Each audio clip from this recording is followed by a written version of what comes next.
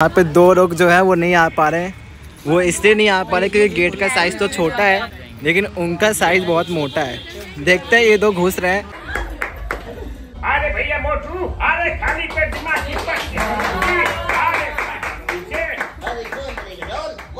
पीछे वाली पीछे वाली। दिस इज़ टी अभी बज रहे सुबह के दस। और हमारी एक जगह पे मीटिंग है और मैं पहले से लेट हो चुका हूँ और एकता दीदी है वो मेरा वेट करे तो चलो अभी चलते हैं वहाँ पे फिर आप आगे का ब्लॉग देखना आगे क्या होता है। और एंड तक बने रहना क्योंकि एंड में मैं एक करूँगा प्रैंक उस प्रैंक को भी आप ज़रूर देखना। तो चलो चलते हैं। एकता दीदी सामने करिए कहाँ जाए दीदी? चलो चलो तो भाई बात ये है अभी हमें आगे से एक लड़की को पिकअप करना है। जाएगी मीटिंग में।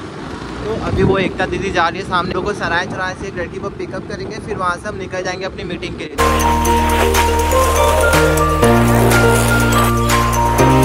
अभी तक आई नहीं क्या वो?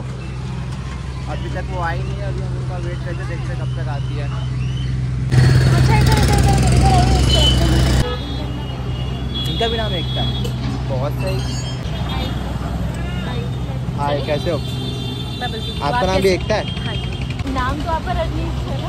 हाँ मेरा नाम तो रजनीश ही। है तो भाई जहाँ पे हमारी मीटिंग है वो यहाँ से समथिंग दस किलोमीटर दूर है और हम जा रहे हैं रास्ते में। वो लोग भी वहाँ सामने जा रहे हैं। तो यार अभी सीन ये हुआ कि हम रास्ते में आए थे पहले तो इनका चलान कट गया फिर अभी क्या हुआ? अभी उनकी स्कूटी की हवा कम हो गई। तो अभी वो वहाँ पे खड़ी होकर अपनी स्कूटी का हवा भरवा रही हैं। वो आ रहे हैं अभी हवा भरने के चेक करेंगे क्या हुआ उनके स्कूटी में।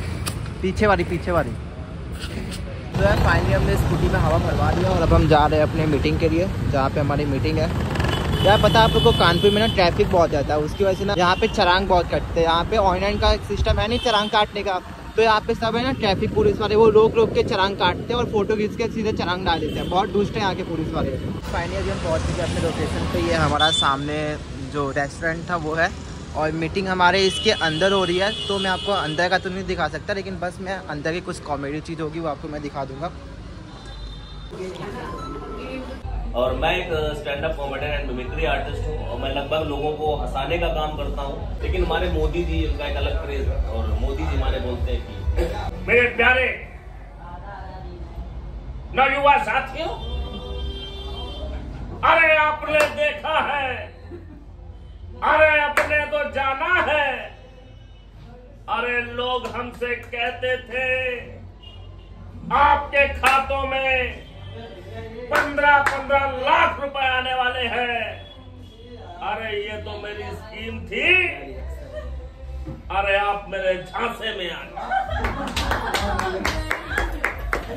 अरे भैया मोटू अरे खाली पेट दिमाग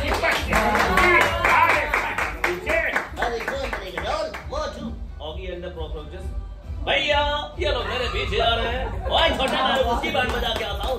अच्छा है कौन बन गया? हाय कॉकरोच पार्टी जिंदाबाद। सो फाइनली गाइस हमारा जो वीकेंड था कंप्लीट हो। गया। अब हम जा रहे हैं घर के लिए। कि मैं सोचा नहीं मैं किसी एक के साथ प्रैंक करूँ किसके साथ करूँ समझ नहीं आ रहा है। वो वाली जो लड़की है सोचा उसके साथ प्रैंक करने का। और ये सब हमारे टीम के मेंबर है ये आप सामने देख रहे हैं चार पर्सन एक ये पाँच सर और पीछे ये चार पाँच लोग आ रहे हैं। ये सब हमारे टीम के हैं। और अभी हम जा रहे हैं कुछ फ़ोटोज़ क्लिक करने के लिए। फ़ोटोज़ क्लिक करने के बाद हम घर जाएँगे। पार्क बंद है। कौन कौन निकल जाएगा अंदर से?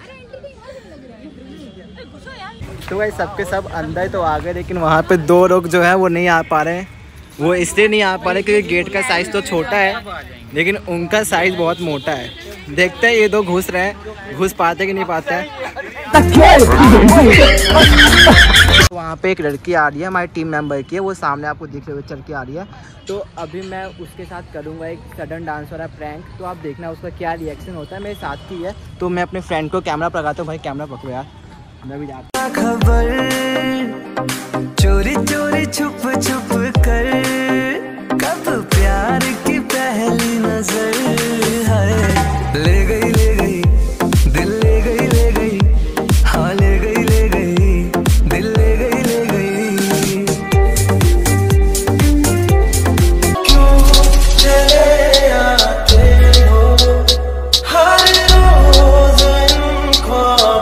गाइस फाइनली हमारा मेकअप कंप्लीट हो गया। अब हम जा रहे हैं घर। अब हम मिलेंगे किसी नए ब्लॉग में। तब तक के लिए ब्लॉग यहीं पे एंड करते हैं। Bye bye